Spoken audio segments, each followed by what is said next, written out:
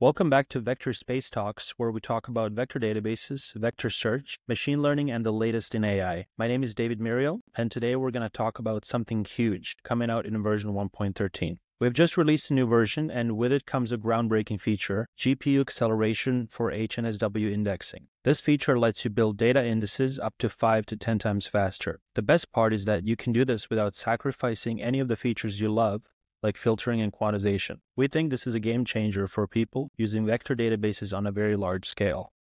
To break it all down, we're joined by the brilliant mind behind this feature, Ivan Pleshkov. Ivan is a serious, a senior Rust engineer at Qdrant and the driving force behind GPU acceleration. Today, we're going to dive into why it's important, who it's for, and how you can get the most out of this new feature. All right, let's get started. Welcome, Ivan. Uh, thanks.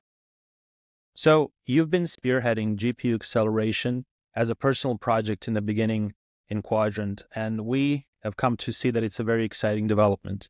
Do you want to tell us briefly about your role in this project and what motivated you to start experimenting in the first place? So, uh, yep, uh, as I told uh, um, at the beginning, uh, GPU acceleration was um, a personal project, but it was important for me personally. I'm working in a great team with great persons, and uh, you know, everybody here in Qdrant uh, have some ideas to try to do something in addition. And of course, I'm looking uh, this atmosphere, uh, this uh, these guys, these colleagues uh, with uh, I'm working on Qdrant, and of course, I wanted to join this party. I wanted to do something great too, like our colleagues. And uh, my idea was GPU acceleration because I have experience in this sphere. I worked as game engine uh, developers and worked with uh, shaders, worked worked with uh, graphics, and I wanted to bring. as, as my colleagues in our great team, I wanted to bring something too, and yeah, my idea was GPU acceleration. So you come from the gaming industry, and we're actually pretty lucky to have the uh, the combination of a guy from um, a place like that and also a very experienced Rust engineer. This is not something that a Rust database company has the uh, the luxury of having. So I, I, would say we got pretty uh, pretty lucky with you. And uh, yeah, this is actually exciting, and it's exciting for one many reasons. But one of the big ones that I want to talk about is uh, this is actually vendor agnostic, right? What we have out in, in the industry is NVIDIA support. But with your approach and, and your build, uh, you can support many other vendors.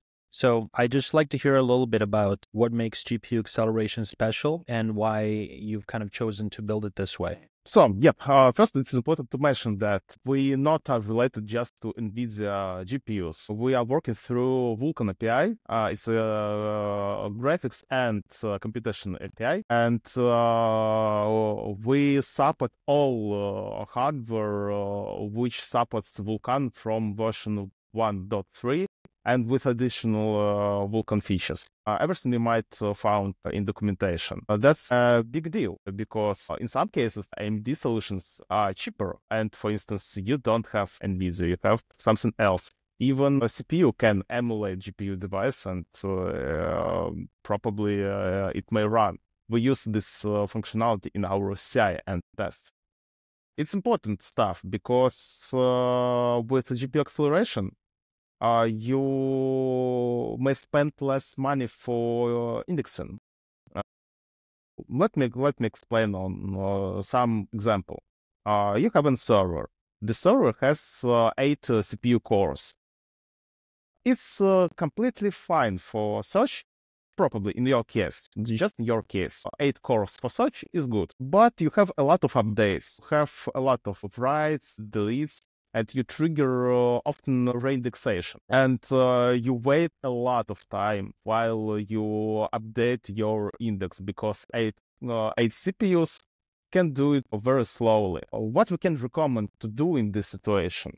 In this situation where you are struggling with indexing uh, computation speed, you may, for instance, buy additional CPUs increase uh, increase your machine and buy eight additional CPU cores. It's a good solution, and your index uh, will be done two times faster. But right now we achieve uh, another approach. Instead of eight additional CPUs, you can buy uh, one additional GPU on Google Cloud. Tesla 4 T4 costs almost the same, but you will get more performance and uh, your index will be constructed faster in the same price. And uh, and if you need to increase your uh, indexing speed, but uh, in case of search everything is fine, a GPU may help you. With the same price, you will get more performance and more speed.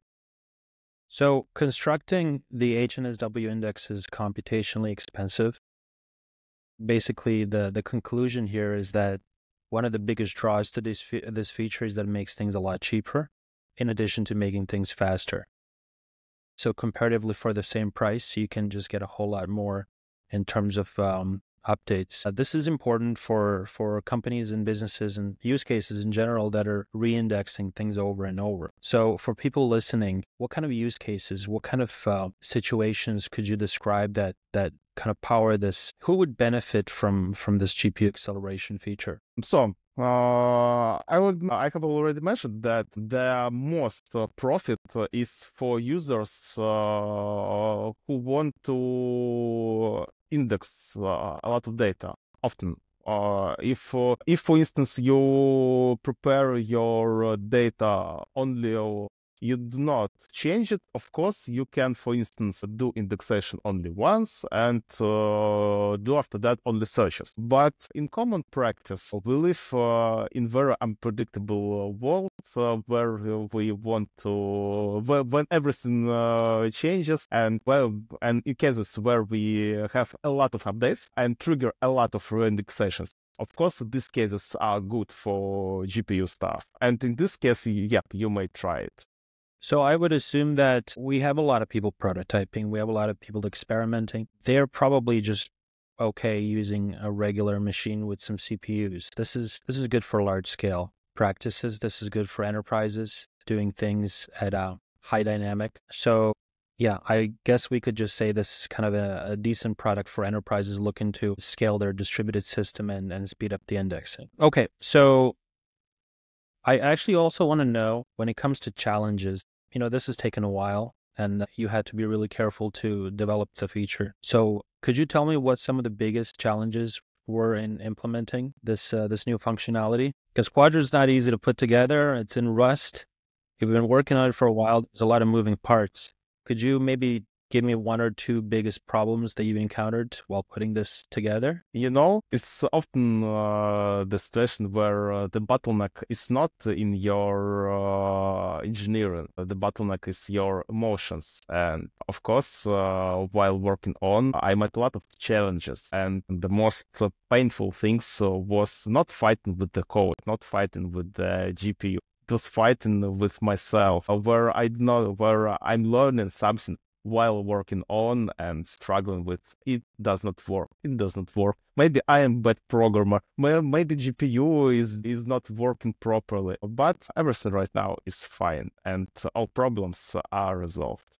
So it sounds like a, sounds like a great avenue for personal growth because this is how you get better. You you challenge yourself, you test yourself, and and you you try your limits, right?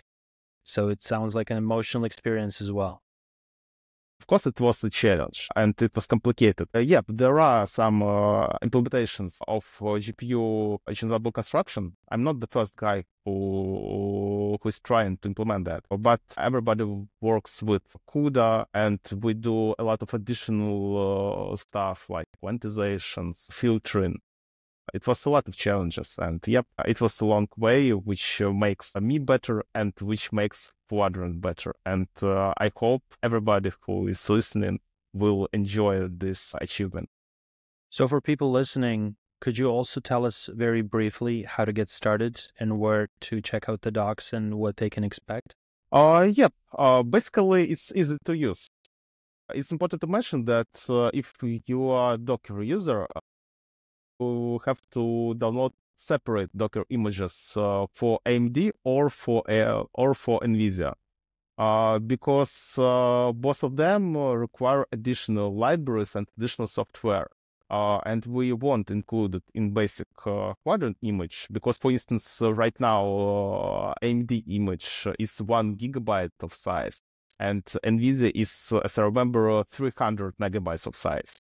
But basic uh, Qdrant is less than 100. Uh, that's why you first have to use uh, separate Docker images. That's the first. Second, please install if you are running locally.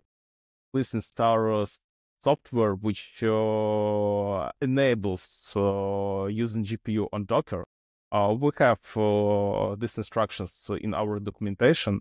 But if you are a cloud user, probably uh, selecting uh, base images uh, regarding to your hardware. For instance, if you are working with NVIDIA, select on cloud basic images with CUDA support. probably it's fine and everything is configured well. And just enjoy turn on and uh, you don't need to do anything else. So yeah, as I saw from the documentation, the configuration for Docker is actually pretty minimal. If people want to put it together on their own, it's available beyond just uh, NVIDIA and AMD, correct? Uh, yeah, and one important thing to mention, because uh, instead of Milvus, which uh, have integrated CAGRA algorithm, uh, we are working with the same HNSW as a CPU side they are fully uh, compatible to each other. It's not a separate uh, index kind. You don't need to live with GPU if you turn it once. It's uh, it's just uh, the same HNSW which before, uh, without any restrictions and without any additional uh, comments. It's not like it's not a separate algorithm which builds a separate kind of index and after that you will have something indifference as a result. No, it's not like Milvus with separate kind of index which GPU support. It's the same HNSW which uh, you work on uh, the whole uh, time. So in our release article, we have some preliminary benchmarks and we'll have a few other ones coming up soon with different vendors. But do you perhaps want to go over some of the rough numbers that we've gotten uh, right off the start? Uh, of course, it depends on uh, device. There are a lot of uh, different kind of GPUs, and uh, they are really different. But my personal recommendation is use please cheap but modern GPUs if you are looking for financial results, if you are want to make it cheaper than uh, CPU. The best approach is using uh, modern but cheap devices. As an example is uh, T4 from uh, NVIDIA or L4 from NVIDIA or the uh, your indexation with the low price. Uh, that's my personal recommendation. And with the, and with these devices, it depends on on data. Of course, it depends on data, but you may achieve, for instance, five time more uh, speed up than uh, eight. So we've tested it internally and we got up to 10 times. But the thing is, if you're using the most high powered graphics card, you're going to get 10x. But the cost that it takes to use that card is is not it's not feasible when you compare it to the uh, CPU alternatives. So could you, and then of course the, the graphics cards that you mentioned, they're mid-range, right? So I guess the advice would be to not go for the top possible speed, to go for sort of the average option because it is good enough. And if you do that, you will get your cost versus benefit. Um, and, and that's pretty much the play here is for the same price, you can achieve a lot more. Okay, I have one question. We're talking about indexing, right? But what about search? Can you run search on GPU? Should you run search? Is it the kind of operation that a search engine, by the way, because that's what we're here to talk about, that a search engine should be running on a GPU? Could you chime in on the, the details behind that? That's a good question, actually, because if we're talking about uh, HNSW construction, the first question was about search. Where is the search? So right now we uh, released only GPU indexing construction. Right now, uh, we don't have GPU search. It's more complicated than regular uh, construction because, as I told before, we don't have compromises with GPU and uh, support uh, the whole feature set of Qdrant. And if we're talking about uh, search, there is more difficulties. Like, for instance, payloads. We have to upload payloads on GPU uh, to do filter search. Or we have to support, uh, for instance, uh, recommendation API or query API. uh, it's complicated and uh, it uh, may work uh, in case uh, where we have uh, a huge batch of search requests. For instance, at least 100 search searches uh, in one request. Uh, right now, yeah, we have some challenges, and uh, the future of search depends on user users' feedback. Of course, users will decide are we going to implement search or not. If it's a requirement if uh, we are going to see that it's very important to our customers of course so we're gonna think about it so essentially, if the way industry develops and the way users start using search, if it becomes an operation that is used in batches, basically parallel processing, then this is where GPU yep. will. But if people are just running on search at one time, it's just a CPU thing.